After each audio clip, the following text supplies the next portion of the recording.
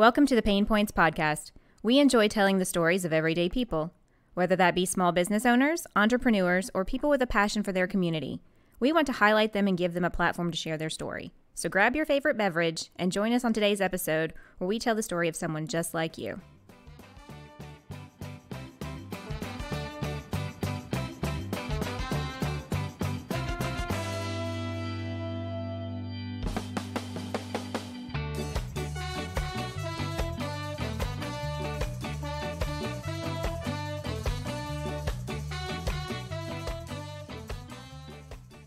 Hey, everybody, welcome back to another episode. I am your host, Sarah Harbuck, and with me is Kristin Ellis. Good morning. Our very special guest today is Dr. Sid Roberts. Hello, good morning, Hello. afternoon. What Thank time you. is it now? I It is afternoon. You're right. It even is know. afternoon. I was wrong. It's so nasty today that it's it feels like it's nighttime. yes. So. Yes. Uh, Dr. Roberts is here with us today from the Temple Cancer Center at CHI. Correct. So he's got a very busy day, so we're going to get right on into it.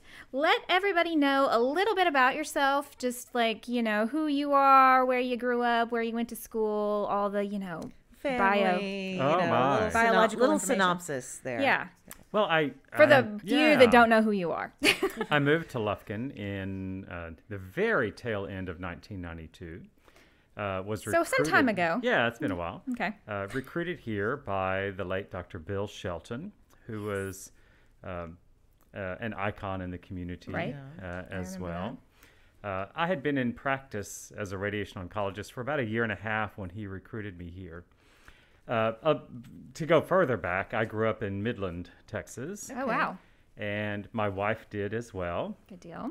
We met in seventh grade band. That's Aw. a whole nother story. So y'all are like childhood sweethearts. Uh, No, no, no, no. We didn't date until we were both in grad school. Actually, Oh, wow. wow. But you've known each other But since we've known each other for a long time. Wow. That's very cool. But so we both grew up in Midland. I went to Rice University Mm-hmm. uh, undergrad, and then did my medical school training at Baylor College of Medicine in Houston, and stayed there for my radiation oncology residency. Okay. And radiation oncology is a is an oncology specialty, but it, the specialization is radiation treatment for cancer, as opposed to medical oncology, which is more of an internal medicine based mm-hmm. subspecialty that does the chemotherapy, for Right. example. Mm-hmm.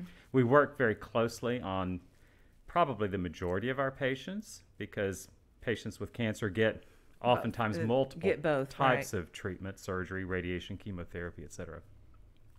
So anyway, end of '92 was when I, I moved here, and it was the best move I ever made. Aw. Wow. Yay. Well, we're so glad that you decided to come here. Yes. Because, you know, so so oftentimes smaller towns like this don't always have like, you know, the doctors that specialize in, in some of these types of fields and Right. they have to go to other cities or other places. And so to have our very own, you know, specialists here in town is always very nice. And Yes. Yeah, well, you know, people think of Lufkin as a town of 30, 35,000 people. Mm-hmm. But from a healthcare standpoint, Lufkin acts like a town of several hundred thousand, Really? perhaps even 400,000. well, it services the entire county plus the surrounding That's true. counties. Yeah, it's probably a 12 county area. And so that's why in this in this little Lufkin, we have radiation oncology, open heart surgery, Right. neurosurgery, for example, because we do have a drawing area. And you know, the the chamber statistics uh, are pretty amazing that our daytime traffic is over 100,000 in Lufkin. So a lot of people yeah. coming in and out. Yeah. uh, that explains for why I hate driving places. There's just a million people Well, on the road. That's right.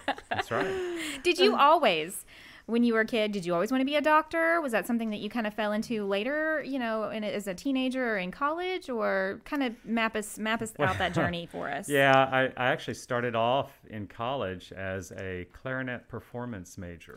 Wow. Wow, that's a completely different specialty. Yeah. Very, very different, but also very cool. Yeah, Yes. that's. that- I ended up at Rice University because I auditioned to train with the principal clarinetist of the Houston Symphony Wow.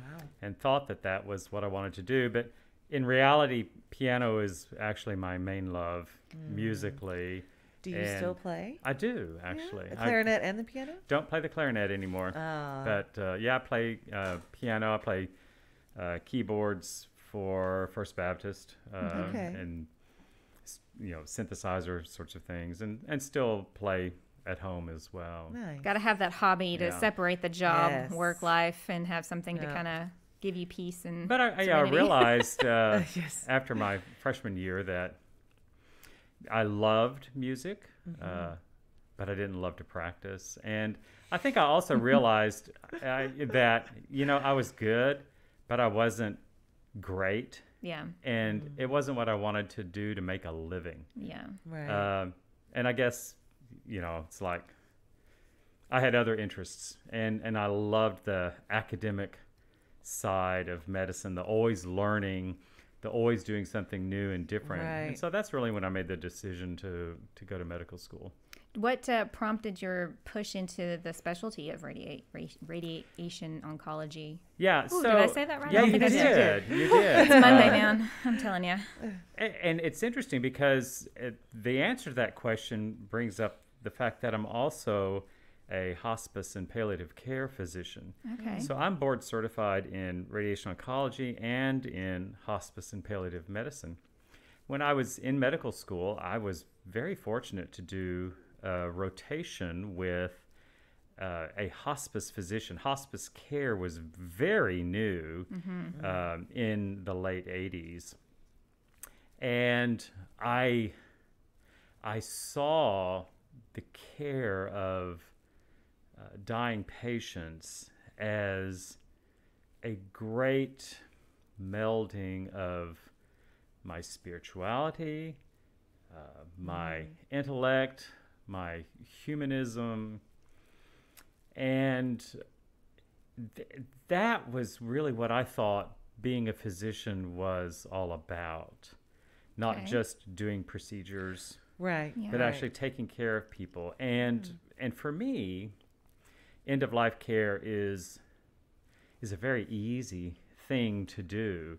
Most most doctors aren't trained to either take care of people at the end of life or or to talk about end of life Right. issues. Well, their their main focus is to keep you. Well, and that- you know, yeah, to keep but- that from and- happening. But that's that's uh, that's a result of so many medical advances that took place starting in the 1960s, if you will. Well, or even earlier if you talk about antibiotics. But Sure. think about uh, heart disease and heart care. Mm-hmm. we didn't have uh, coronary artery stents and bypass surgery and all that Right. 70 years ago Right. or so. Yeah. That's- A lot's changed So- in the last few Yes. decades. I think, and in ICUs, we mm-hmm. didn't used to have ICUs. It was very common for people to die in the home, mm-hmm. and and families were, you know, raised and raised their kids knowing you know, that there were multiple generations within the household that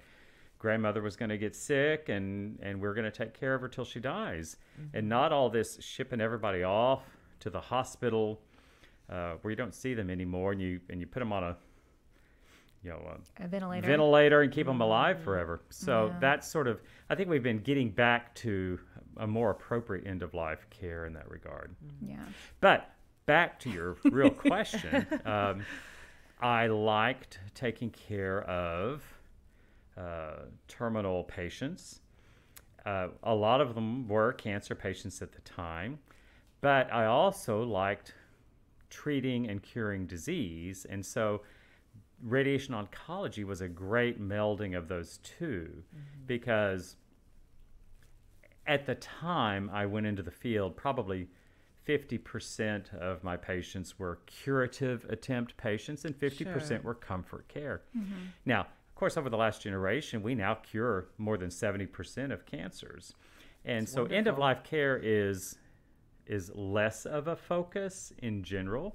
But that being said, hospice care now is also focused a lot more not just on cancer, but Alzheimer's, COPD, Sure, end stage heart yeah. Mhm. disease, and Yeah. other illnesses that kill people. Yeah. Yeah. My, my father-in-law worked for um, one of the local hospice chapters as a chaplain, uh, just you know coming in and, and sitting with people who were you know just last days, you know, Yeah. and, Yeah. and well, and then also had a rounds where he went and checked on people who were in hospice care Right. that were maybe not you know Right. dying right away, but they they were heading in that direction. So I feel like you have to have a special personality or a spirit about you in order to handle something that kind of is very emotionally heavy for some people.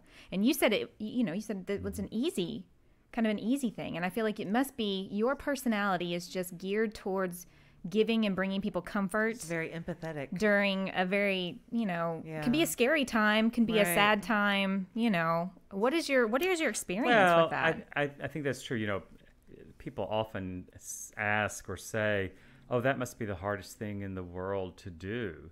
Well, to me, if you're doing what you love and what you're mm-hmm. gifted to do, it's actually the easiest thing That's in the world, and Yeah. I can't imagine myself doing anything else. I do think um, I think personality does have a lot to do with it, mm-hmm. but I I think a lot of it can be trained too, mm-hmm. and Yeah. if if your mindset is such that your only goal is to keep someone alive for as long as possible, no matter the cost, Yeah. that's that's not right. No, no. I wouldn't want, you know, I you have would to you have want to be weigh that. quality yeah. of life. Yeah, that's Right. a very quantity. paternalistic, Right. um, old Scott, old style medicine approach Mm-hmm. that. You know, we've been moving away from that for decades. We're still not where we need to be. yeah. Yeah. Yeah. and would- I think you know, to be honest, we we are we are separating medicine into just such individualized specialties today. Mm-hmm. For example, so many of the primary care physicians no longer follow their own patients in the hospital.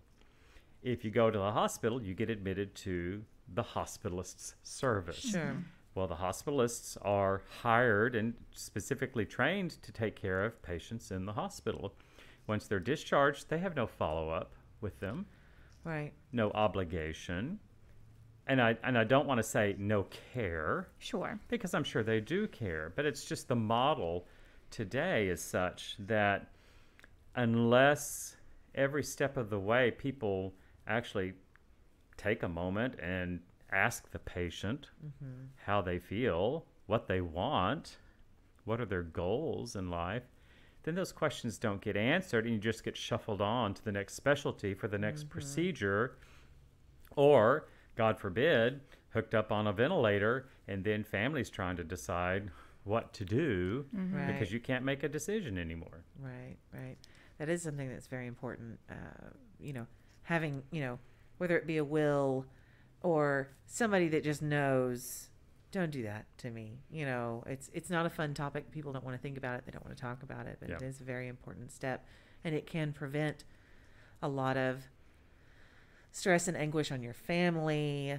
You know, mm-hmm. if you know, say something happens and you're basically stuck in your body and you know what's going on, but you can't communicate you know that you're not ready to you, you don't want this then you're just stuck there miserable and it's there's there's a lot of there's a lot of things that go into that but it's very Yeah. important it's I mean, there are difficult but- cultural issues too and- true true but people do need to learn to communicate not just with their healthcare professionals but with their family. Yes with their family Death is something yeah. people don't like talking about and and thinking about, you know, but it's going to happen to all of us. yeah. And being prepared for when that does come you know my my, my grandfather had an aneurysm and he uh, went to the hospital. He survived but he was put on a ventilator and machines were breathing for him and he was basically brain dead.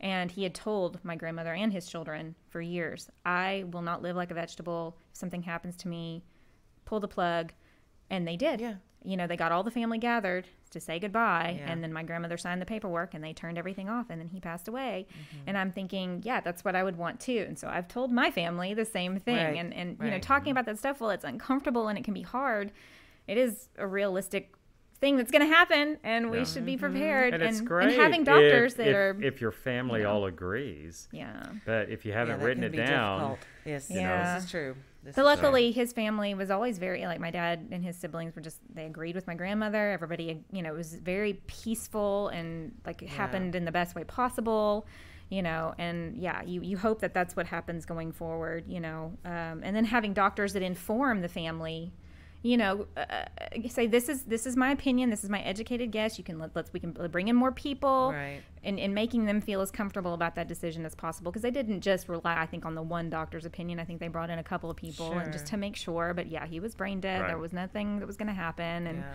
and so you know that's a, I'm sure you know a, a tough thing to have to, to to do with a family, but then to have somebody that's compassionate and that's empathetic who's been through this process a bunch of times you know i want your expertise you know like hey doctor Sid, you know Yeah. give me the lowdown what's going to It's happen here Communication. Yeah. And, Yes, and it- isn't that the key to so much? Yeah. oh yeah goes on. definitely, I, I definitely. always love. I, I had a, a doctor who, he would apologize because he would explain things. He would, you know, you know, explain it, explain it like I'm five, and he would, you know, I, I don't mean to talk down to you. And I'm like, no, no, thank you.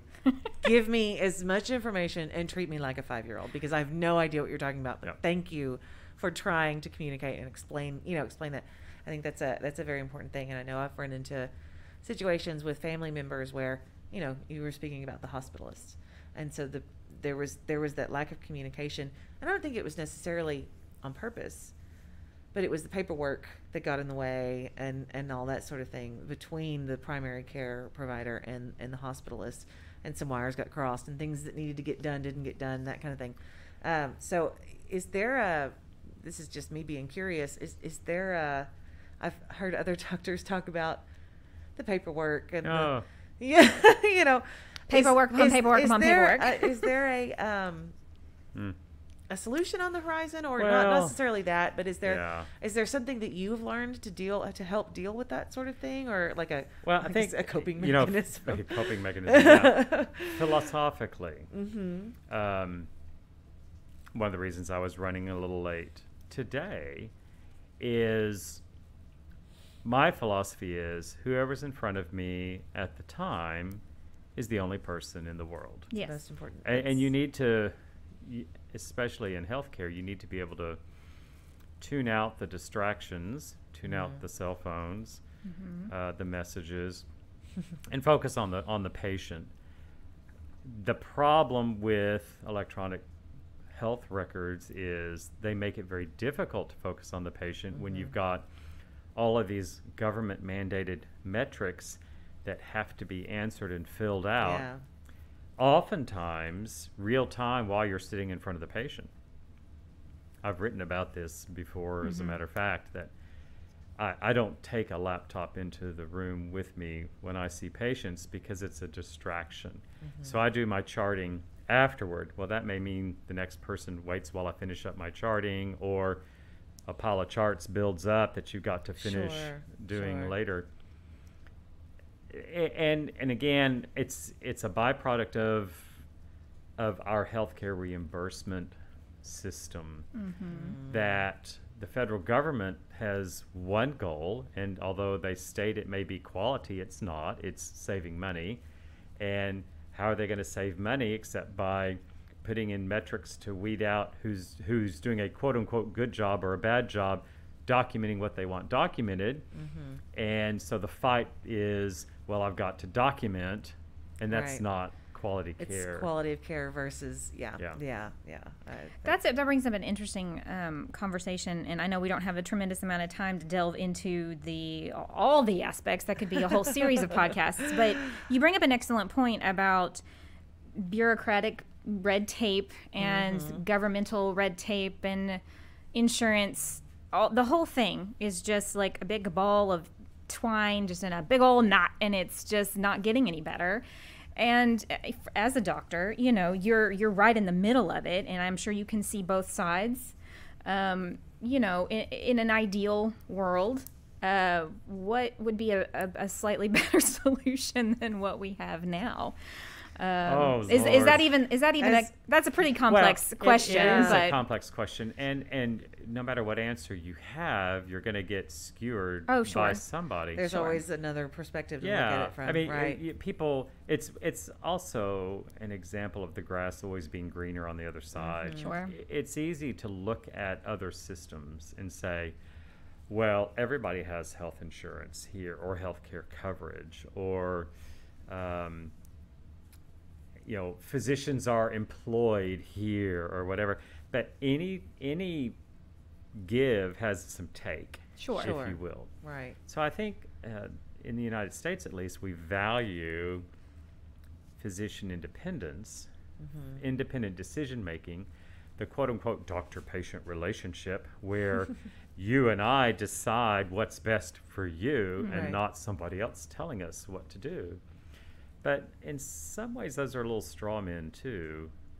Um, we all are incentivized negatively, I think, when it comes to the way the reimbursement system is set up as far as procedures are concerned. I mean, that's probably the biggest problem in our healthcare system right now. Those of us who are in specialties that do procedures are reimbursed for doing more procedures, whereas those that are in primary Oh. care that sit down and hold the hand of the patient aren't reimbursed as equitably for their For time, their time. With, sure. with the patient Sure. you know, the only way to change that is a drastic redo of the whole healthcare reimbursement system. And there's just not the stomach or will Yeah. to do that. That takes, Yeah. you know, congressional action. and they're They only, move really slow. The, the only care they have is getting reelected. So it's Right. never going to happen. This is true. yeah. Yeah. I, yeah, I, I, Sad- you know, I've sad fact. I've been on the both sides of that particular argument. In fact, at the beginning of this year, I had to have emergency surgery on my eye and don't have insurance uh, in that in that for that. And um, because I didn't have insurance, I actually had a lot more freedom to get things done very quickly. And they scheduled it the very next day, and all the things just boom, boom, boom, boom, boom. And Yeah. she was like, the, the lady helping me, she was like, you know, this is probably one of the easiest ones I've had today because we didn't have to call an insurance company and get your approval to do Right. X, Y, and Yeah. Z. It's an emergency. And, and by federal law, luckily, emergency care must be managed. Yeah. Um, now, But there was no, there was no, they, had, they, had, they didn't have to have any conversation. It was literally just like, oh, Right. can you pay?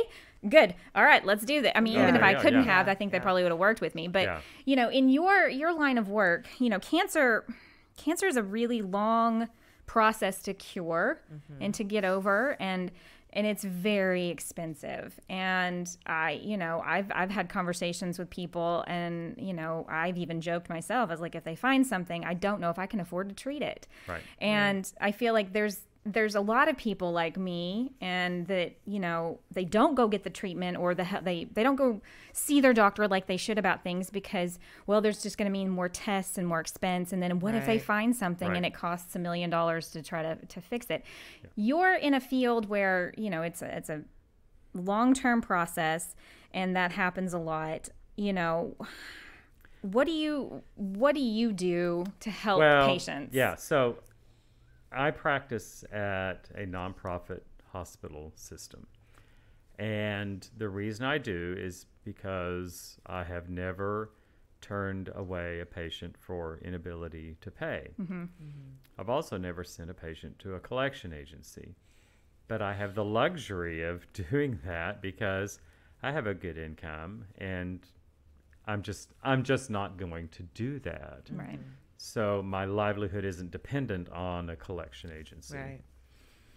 And my my staff are going to take care of whatever patients they have to take care of. What's one more patient if we're already treating XYZ a day? Mm-hmm. I mean, so there's again, it's a luxury. treating people like human beings with a problem Yeah. rather than a number on Yes. a form. Yes. but yes. but the, but the problem is i never i never know exactly who has what insurance plan because they're all different Oh, yeah. So too. different. and so so so confusing. if you've got you know medicare then it's whatever supplemental and do they Mm-hmm. require whatever prior authorization if it's standard insurance they almost all require authorizations it's the poor people who and of course if you qualify for charity care then then you're covered also but it's the it's it's the the sad donut hole people who make more money than would qualify for charity care but don't have insurance who get stuck with the whole bill Yeah. not a reduced bill mind you Yeah. that that makes it really tough. Now, the the other issue too is some cancers, breast cancer, cervical cancer, there are uh, state and federal programs that can help with mm-hmm. with coverage, but patients don't know that. Yeah. So they have to actually get into the system and have knowledgeable people who are going to figure out, navigate, if you will, the system for them and with them mm. to know what can be covered. I guess my my only point there would be everybody should be able to get the care they need. It's just Yes. Much harder for some people than others and you have to fight for yourself and you have to navigate the system and hope that the people that you are seeing are going to navigate the system with you. Yeah, Yes, I think that's a challenge because I I mean I've been lucky enough that most of the doctors I've interacted with in my life have have had more of your philosophy and um, have more. Yeah. Uh, let me help you out, or you know my staff is going to help you, Mm-hmm. or you know this thing with my eye just came out of nowhere, wasn't prepared, and they they really walked me through the whole thing, and I very much appreciate uh, you know that uh, that side of it because it, it can be very scary when you've been told something you have no control over. And oh, by the way, you've got to go to Houston tomorrow and have a surgery to fix this before you go blind. Um, you Right. know, and so having those people tell you, you know, what's what and how to, you know, how to do things. Now, you know, if you've been in a situation like that, you kind of learn. And so the next time if something comes up, you can kind of. But for mm-hmm. those that, you know, like you said, that have no idea, just you know, Well, we live in a in an area of the state where um, education level is lower than the rest of the state. Income mm-hmm. level is lower than the rest of the state, and then a lot of health metrics mm-hmm. are worse than the rest of the state.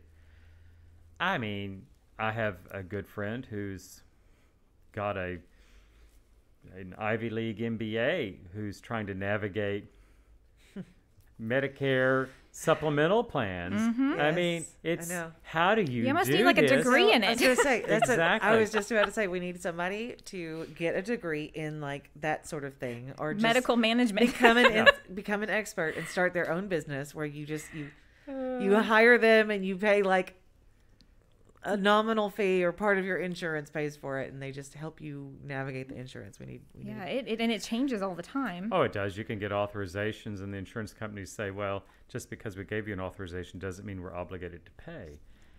You know, they hold the, That's the keys and the power, but it is frustrating. yes. Well, Let's let's move on from that Yeah. because we could probably yes, talk about that yes, for two or three yes. more hours. And Um, we're not going to solve anything. Yeah. so- Um, walk us through kind of your typical, what it looks like for you, a typical day looks like for you, and, and maybe m- more in layman's terms, explain to everybody what your specialty um, entails. Ah, well, um, what, what you can share anyway. Yeah, no, as as a um, as a cancer doctor, we'll start at that level. Mm-hmm. Um, I get referrals from other cancer doctors, from surgeons, from ENTs, uh, dermatologists, and such, uh, for patients who have been diagnosed with cancer to determine whether or not radiation therapy is going to be a part of their treatment course. So, And do you cover a multitude of cancers, or Oh, do you yeah. specialize in? we don't do pediatrics because Okay. most kids with cancer are on research protocols, so they're going to be treated Right. at major medical institutions. Sure. But other than that, just about any and all. Now, cancer is not one disease. Cancer is hundreds of diseases, Right. and each cancer may be treated differently. Mm-hmm. So, a person who has a cancer diagnosis needs to know whether their particular cancer is best treated by surgery, radiation, chemotherapy, or combination of the 3 Some cancers, there are multiple options for how to treat it. And so it becomes a discussion of what is the best option for a particular patient Sure. in their particular circumstance. So the the best um, care, I think, is multidisciplinary care. In other words, if you have a cancer diagnosis, are you talking to all the specialties that are going to be involved in your care? Do they talk amongst themselves? Do, Is the plan coordinated uh, in that regard?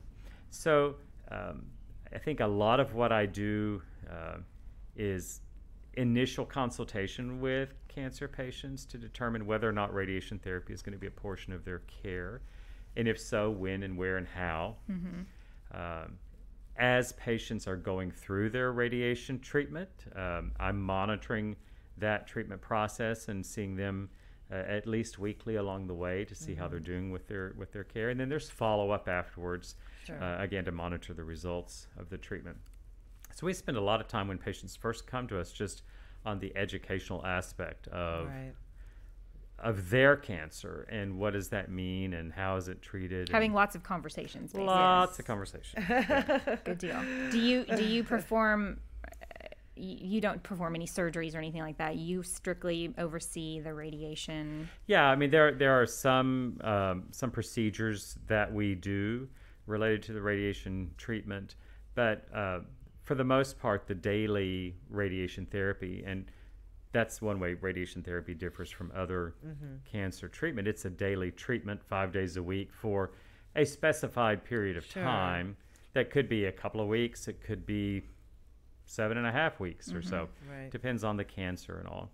But most patients are coming in every day, Monday through Friday, for about 15 or 20 minutes for a treatment that lasts several minutes, Yeah. if you will. Okay. Good deal. And so they've got their daily time, and uh, it's just a schedule for them. So you can see quite quite a volume of patients in a day. if- yeah. if- I mean, if I'm seeing everybody that's under treatment on a given day, that could be 30 people Wow. uh, that day. But other days, it's longer periods of time with fewer patients doing the initial consultations or their follow ups or things like that. It's something I've always admired about doctors is their ability to recognize and remember people. Mm-hmm. Because, like, if, Sarah, if I didn't see you at least once a week, I would probably forget your name. Yeah. and we've known each other for a while. I'm really good at remembering like faces, years. but whether or not I'll remember your name is a whole other thing. I'll be like, I know you, but I can't think Well, of doctors are the same way. you? You know, I'll see someone and I may not remember their name, but it's like, oh, yeah. That's the diagnosis they That, had. that was a colon cancer, Right? you yes. know, and I, I can have had a doctor tell you me all about that. your anatomy. but- Right. Right. I may not remember your name, but I remember your case. Yeah. Yes. I mean, yes. and- and, you know, that's uh, that in a way is kind of, I mean, just as important as knowing their That's name because you know that's that that's well, that's your association you have with that person. But the and, you problem know. is that sometimes, or too often, you become that colon cancer, and you're no longer that person. yeah, Yeah. And so, be careful with yeah. That. yeah. I would Is imagine that something tricky. that is? Um, I don't know. Do doctors? I, I, my sister is veterinarian, which is a doctor of a very different kind.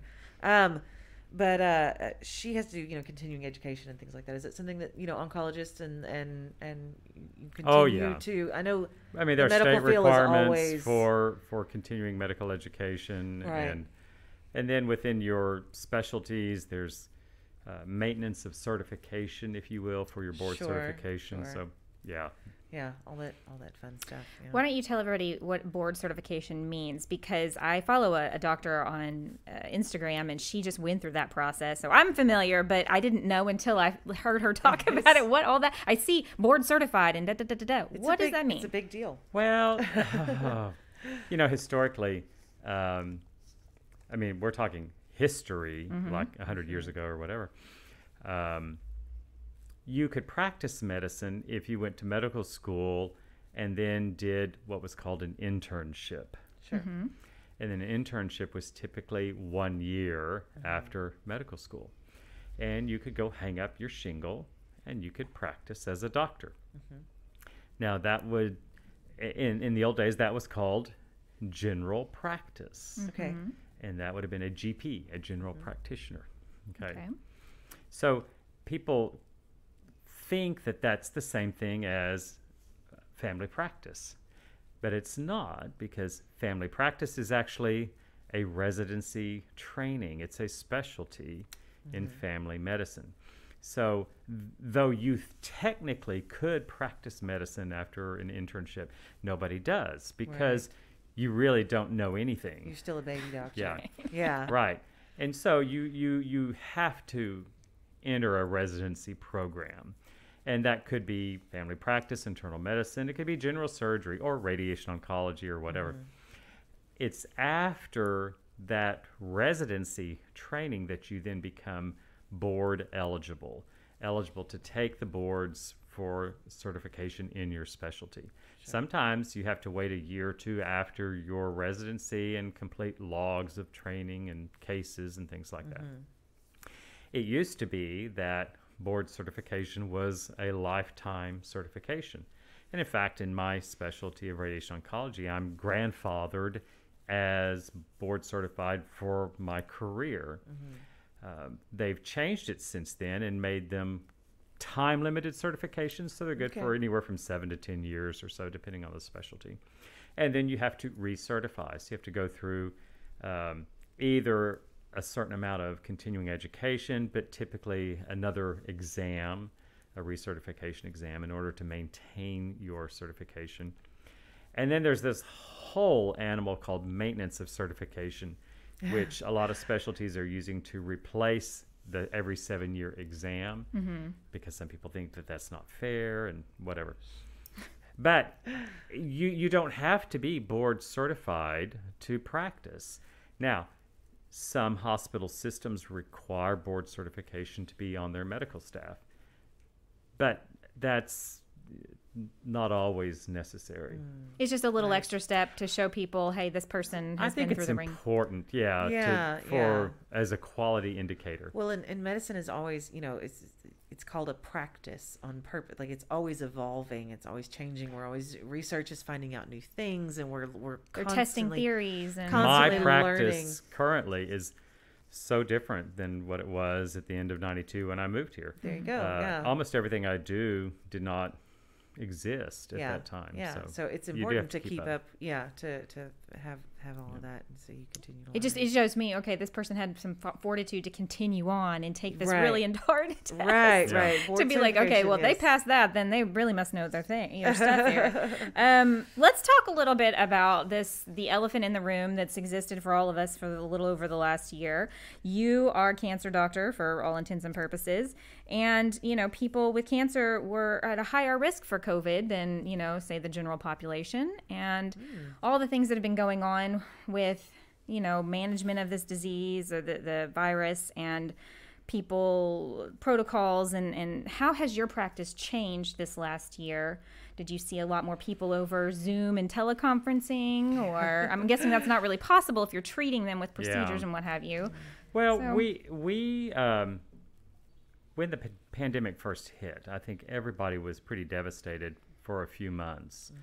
Uh, the hospitals basically all shut down as far as outpatient imaging Right. and testing was concerned. right Um, so we had patients who were under treatment, and we continued their treatment. We you know enhanced all of our safety protocols within the cancer center, but we got very slow for several months, Yeah. and it took a while for uh, referrals to build back up. And in fact, it's only really been in the last couple of months that we've gotten back to what I would consider a normal. There are there are some studies out there that are finally able to analyze and see that yeah sure enough people delayed cancer diagnoses during this uh, yeah. pandemic.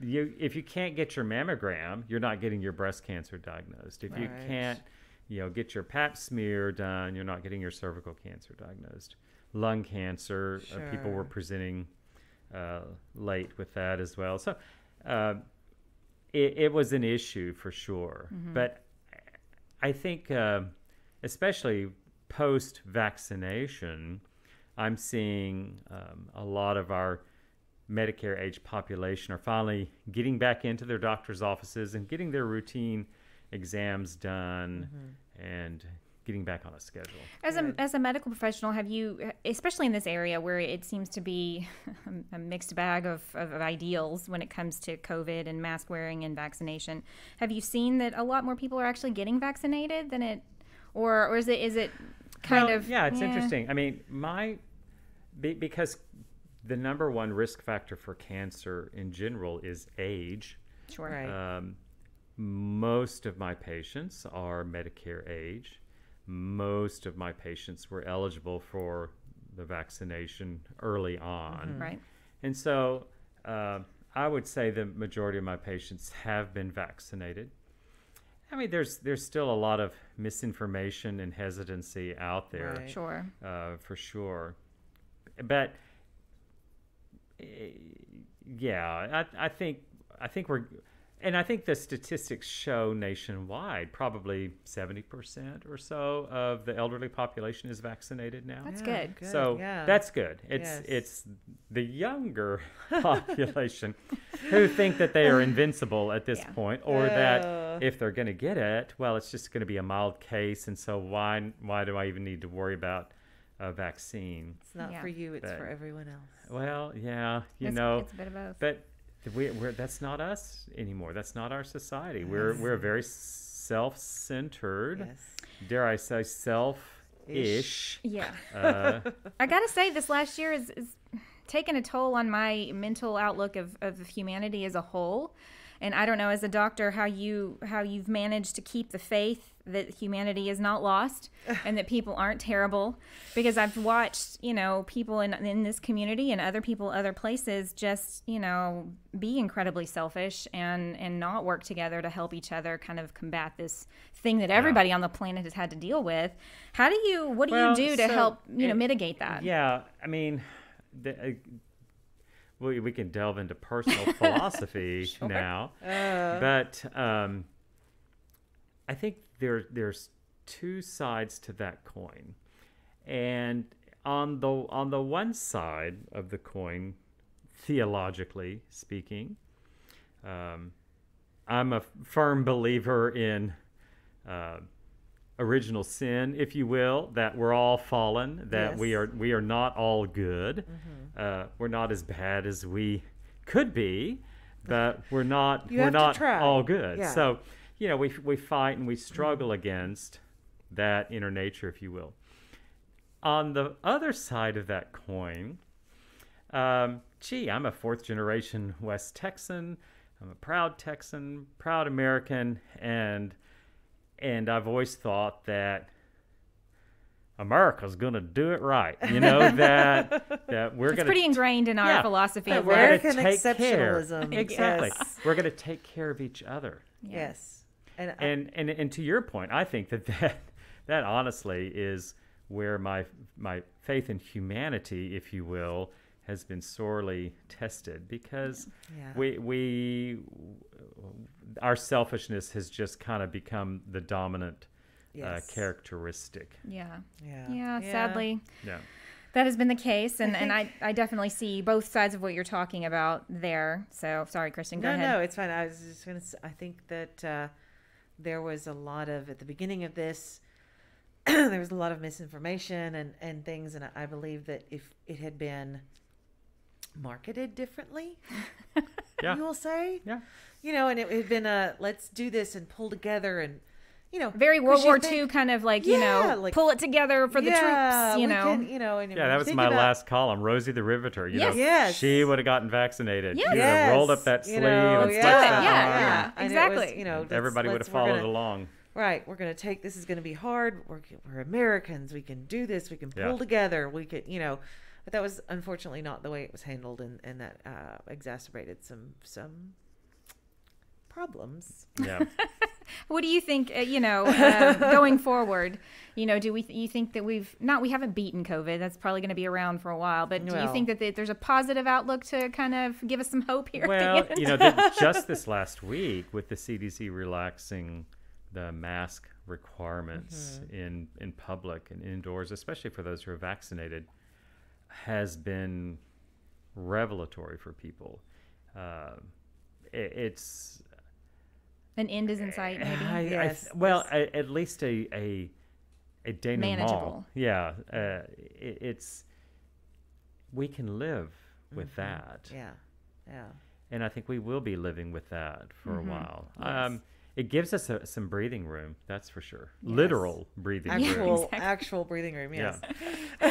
Well, I, I would love to continue to talk to you even and even longer, but you are a very busy doctor, and we've got to let you get back to your Yes, your, we to your let you- day. But- Patients that need you. Yes, but we really appreciate you, Dr. Roberts, coming by and just having this very brief conversation with us about what you do and, and all the things that you've got going on. Um, we very much appreciate for- you. Thank you for what you do. Yes, yes, and and Well, for, thank you, thank you. I mean, uh, uh, this it, this has actually been a joy, and Good. Good deal. happy to do it. Good So- deal. Well, tell everybody where they can um, maybe get in touch with your office, or if you are on social media in any capacity, even just for fun, um, where they can find you. Sure. Well, I'm at the, the Temple Cancer Center at CHI, St. Luke's Health Memorial.